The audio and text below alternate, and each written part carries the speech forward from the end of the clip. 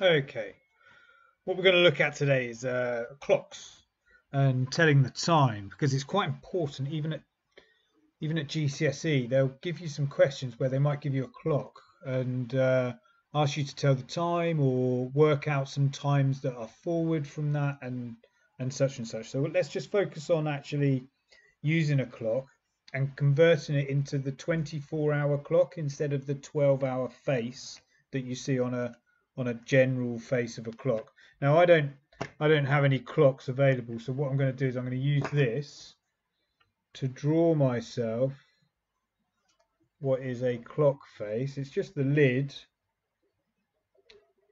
of something we have in the kitchen. So I've got myself a nice circular um, sort of like clock face and you always have a center of a clock which is where the hands go okay and then on each end of the clock you will have the 12 o'clock position and the 6 o'clock position. And then to the left and the right you will have the 3 o'clock position and the 9 o'clock position. Uh, when you're talking about hours these could be minutes though and I'll go through that in a minute. Okay so you've got your ones and your twos and your fours and your fives. Seven and eight it always goes round in order. 10 and 11 so we got a rough idea of what a clock face looks like now. Now, um, this, uh, let's start with 1. That could either be uh, 1 a.m. or 1 p.m. Okay, so 1 a.m. or p.m. But it also, if a hand is pointing to the 1, so if the little hand's somewhere around the 1, just after the 1 or in between the 2 and the 1, then you know it's going to be 1 a.m. or 1 p.m. But it all could also be your five minutes. Okay, so the 2 could represent 2 a.m. or p.m. But it could also represent, for the minutes hand, 10 minutes. The 3 would be 3 a.m. or 3 p.m. But it also represents 15 minutes.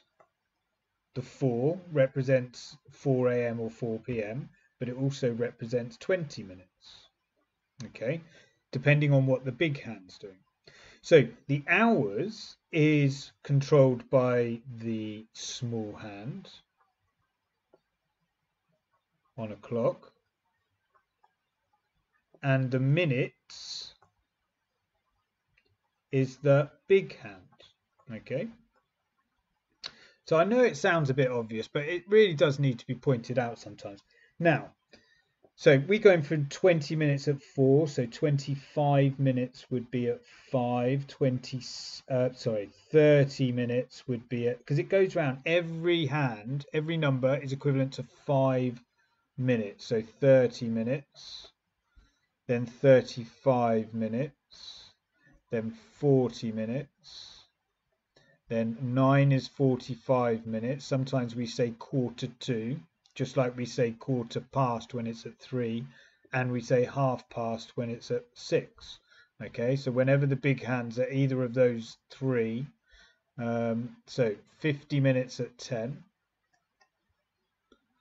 55 minutes at 11, and then we're back to our 60 minutes, which is one hour, at 12.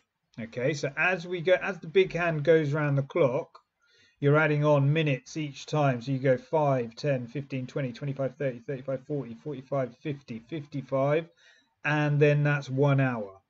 So whenever you get to the hour, whenever the big hand's on the hour, your little hand will be pointing directly at one of these numbers.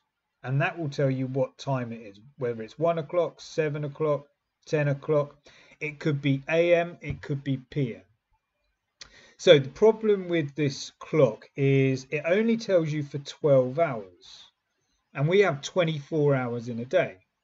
So what we do is we use a 24 hour clock. And let's just go through some clock times. So um, beginning of a day, let's say midnight, okay, when the new when one day goes to another, the time, and that is the morning, okay? That's AM. Um, the afternoon one is slightly different, PM. So when it's in the morning and it's just gone midnight, your 24 hour clock looks like that, or when it's at midnight. Okay, your 24 hour clock looks like that. It's zero hours, zero minutes. Um, if your hand was, let's say, at one o'clock on this, you wouldn't know whether it's morning or evening. Um, well, actually, if it's still 12 o'clock and it's afternoon, so when it's in the evening, you have to add on 12 hours. So it'd be 12 p.m. Okay. So if this was at one o'clock, then it would be at one o'clock. But if it was in, in the morning, if it was in the afternoon, you add on 12 hours, and that is also one o'clock. But that's in the afternoon, PM, and this one's in the morning.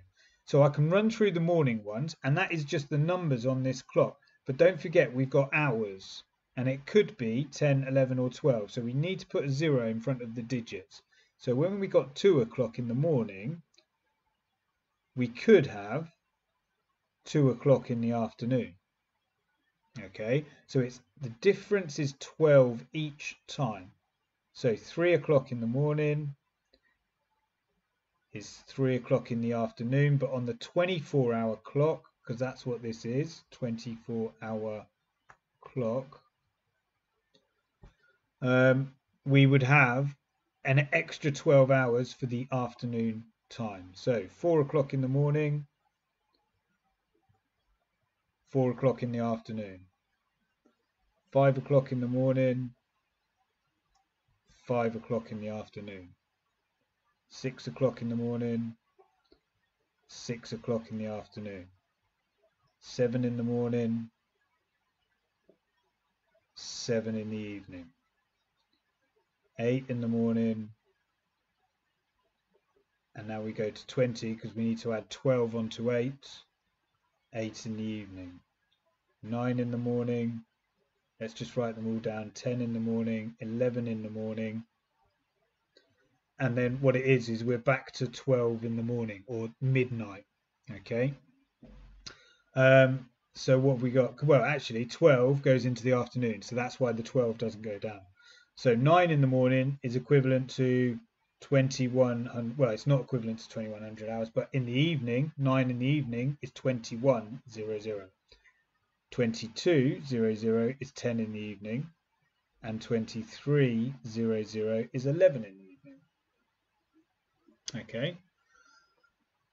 So hopefully this makes a little bit of sense. So what we'll do is we'll look at some clock faces and then we're going to write down, well, if this was in the morning, it would be this time. And if this was in the evening, it would be this time, okay? Using a 24 hour clock. That's what we're going to do now. So, my first clock that I've got here, I've got the little hand is facing to the 12 and the big hand is facing to the 12. So let's first of all look at the big hand. Big hand's really important, okay? When it's at 12, it means it's at zero minutes. Okay. And the little hand tells you which hour you're at. So I'm somewhere, it's always between two numbers. So it's between 12 and between 1. Now remember 12 can be 0 hours, but it can also be 12 hours when it's in the evening. So when it's in the morning, when the little hand's at 12, it's 0, 0. When it's in the evening, the little hand's at 12, or when it's in the afternoon, so we've got 12 hours, and that's your PM time. So the minutes hands is really important. It tells the big hand tells you how many minutes you are, and remember they go round in five each time. Okay, and then the small hand tells you which hour you're at. You're either at the zero hour, which is midnight, or the 12 hour, which is midday. So we've got midnight for the top one and midday for the bottom one. Right, let's have a look at the second question.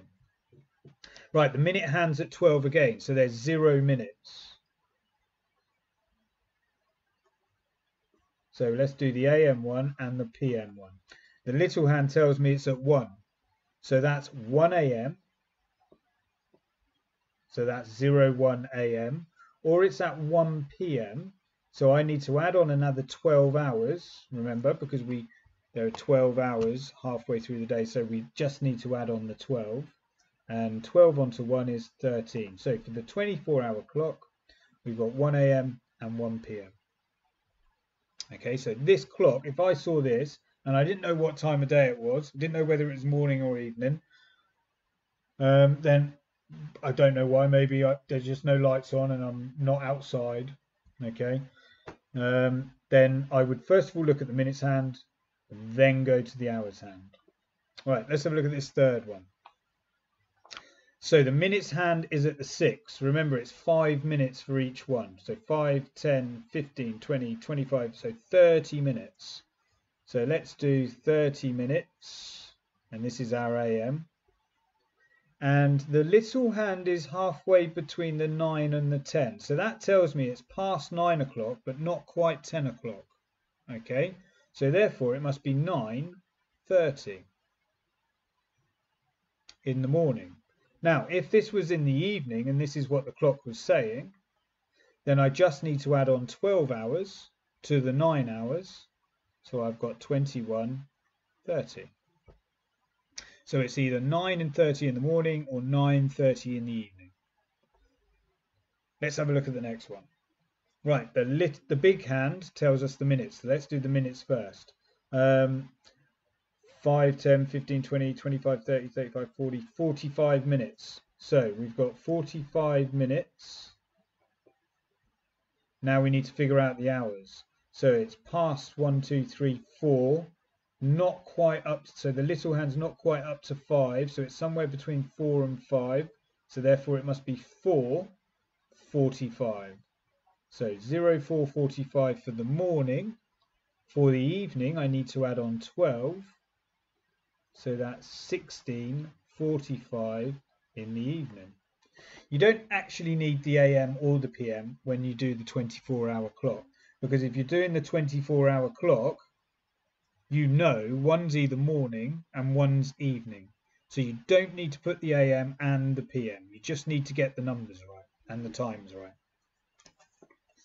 Okay, let's have a look at the last two. So I'm going to do I'm going to do this this time without the AM and the PM. So the big hand is at the 7. So that's 5, 10, 15, 20, 25, 30, 35 minutes. Doesn't matter whether it's AM or PM, it's still going to be 35 minutes. Right, if it's in the morning, then the little hand is just over halfway between the 11 and the 12, so it's going to be 11.35. 11.35 in the morning. But if it's in the evening, I need to add on 12. So that's 23.35. And the last one, the big hand's facing at the 1. So that means it's 5 minutes past. So I need to put a 5 in there. It's not five zero though. It's zero five represents 5 minutes. Okay. Zero five represents 5 minutes. And it's just past the 1 hand. So therefore it's going to be 1 and 5, 0, 5. So it's what 5 minutes past 1. And if it was in the evening, I'd add on 12 hours. So I'd get 105, 1305. So that's your 24 hour clock from the face of the clock, okay? So it could be two possible times. Right, have a go at the questions. I'd like you to write down the two possible times it can be, the morning one and the evening one in the 24 hour clock.